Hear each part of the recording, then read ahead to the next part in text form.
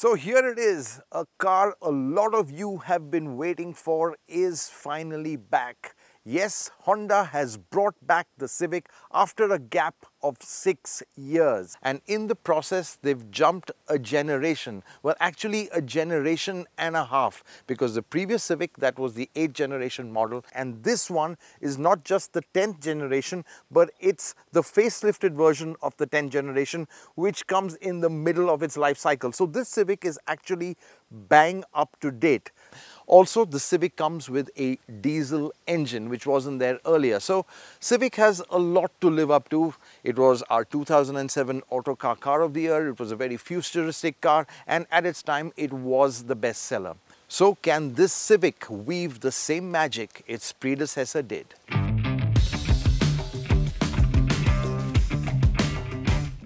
For starters, the Civic looks really distinctive and though it's not as mold breaking as the previous car, it's a car that will certainly draw attention. The sculpted bonnet looks great, the grille looks strong, and it's flanked by high tech looking lights.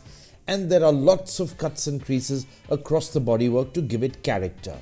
What really stands out though is the way the roofline sharply drops at the rear, giving the Civic a coupe like look. And that distinctive rear is nicely rounded off with the striking C shaped rear lights. Top spec Civics come with 17 inch alloys which look great on this car and help the overall proportions. So as you can see, it's retained its sporty looks and that hunkered down stance, but this time Honda has very wisely jacked up the ground clearance because that was a serious issue with the earlier car. Now to get to the business end of the Civic, which is the driver's seat. Now the Civic, like before, has a great driving position. But this time you've got an electrical powered seat, so it's really easy to find the right driving position. The instrumentation, digital this time, superb clarity, great visibility outside. You sit nice and low and the dashboard, the way it's designed and the sort of high center console, it just wraps itself around you and that really makes you feel special. But the sporty feel hasn't come at the cost of practicality because the Civic abounds with a lot of storage space. Well, you've got an electronic parking brake over here, which is a first in its class. But what that does is it frees up the center console. You don't have the lever anymore. So there's really lots of storage space in here. The glove box also pretty spacious. A nice rubberized shelf over here, large door bin. So really you can put a lot of stuff in there. The only issue is that the USB port is a little difficult to access, but once you do, you're good to go. But before driving off, let's have a look at the equipment list. It's pretty comprehensive by segment standards with the likes of LED headlamps, a power driver seat, a digital instrument cluster, a sunroof, and six airbags and there's also Honda's innovative lane watch camera feature. There are also some segment first features like a remote engine start, the car auto locks when you walk away with the key, and of course the electronic parking brake we just spoke about earlier. However, there are some features the Civic misses out on that you'll find in rivals, like cool seats, driver seat memory, front parking sensors, and a proximity based boot opening. Now let's see how it drives.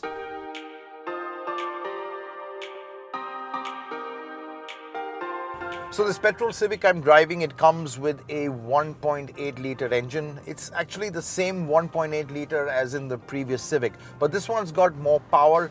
It's around 140 horsepower. The intake and exhaust manifolds have been tuned. It's a little bit more responsive as well. But the thing is that this engine only comes with a CVT. You can't have it with a manual because Honda globally do not offer this engine with a manual transmission at all. And yes, a CVT. I was a bit worried too because a car with sporting pretensions, CVT is something you associate with a jazz runabout.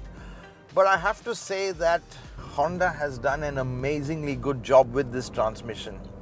Yes, there is a wee bit of rubber band effect, but quite honestly, this transmission is quite responsive.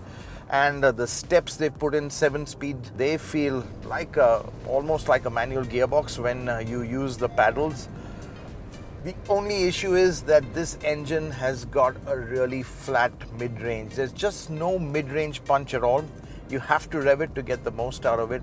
And that leads me to ask a question Honda why don't you give the 1.5 turbo at least as an option you want that turbo mid-range punch, especially in a car that begs to be driven hard like this one. But when you don't want to drive it hard and simply cruise along, you'll notice how quiet the Civic is. This engine is really refined. There's also hardly any wind or suspension noise, and it's only on a coarse surface that road noise can be heard. Dynamics, this is one area the Civic really shines. Now dynamically Honda have really got it spot on with the Civic again and it will bring a smile to your face because it starts with the steering which has got a lovely heft to it. It's very responsive even off center and chucking it into corners is it's absolutely superb fun.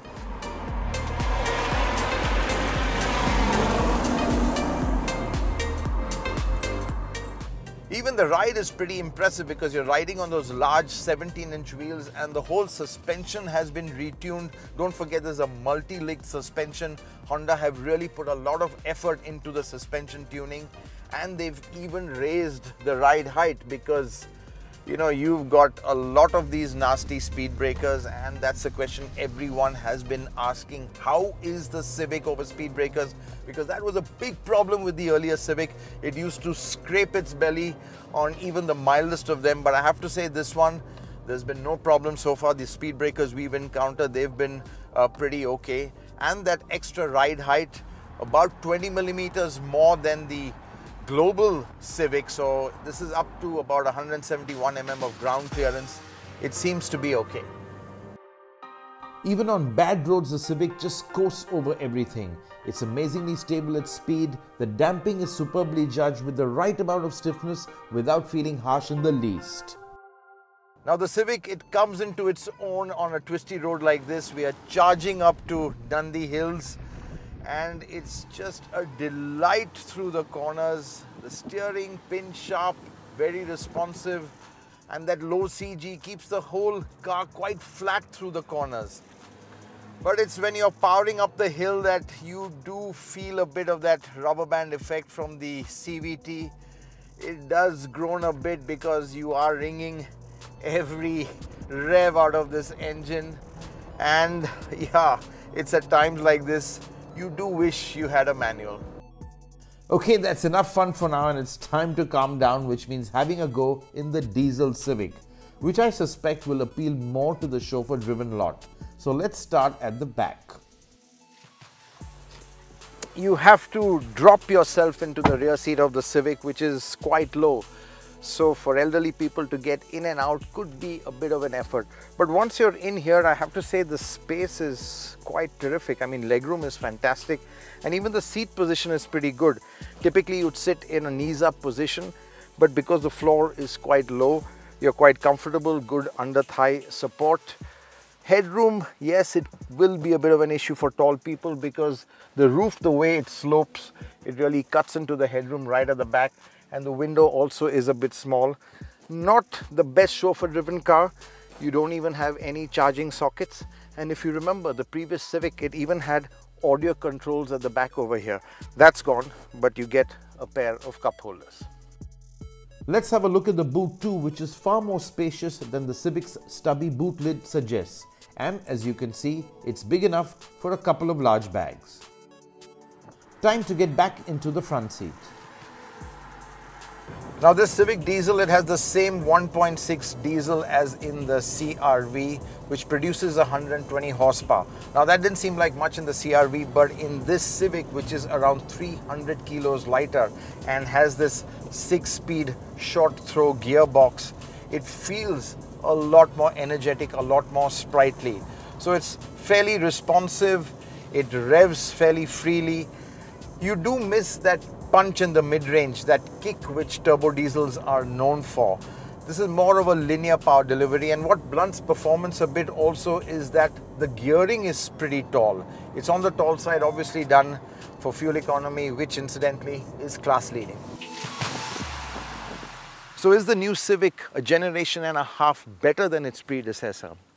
Well, the engines, they could have been a bit stronger. Both the diesel and the petrol could do with a bit more punch. And I wish we had more transmission options. In the sense, I wish the petrol had a manual and the diesel had an automatic. And if you're looking at a purely chauffeur-driven car, the Civic isn't actually ideal. But if you're looking for a car to drive, I can tell you the Civic will put a smile on your face like not many other cars in its category. It's so hunkered down, it handles brilliantly, it's very sporty in the way it feels and show it a twisty road and you won't stop smiling. So in that sense, the Civic does live up to what its loyalists expect it to and with this new generation, given the breadth of its appeals, it could attract many more fans into its fold.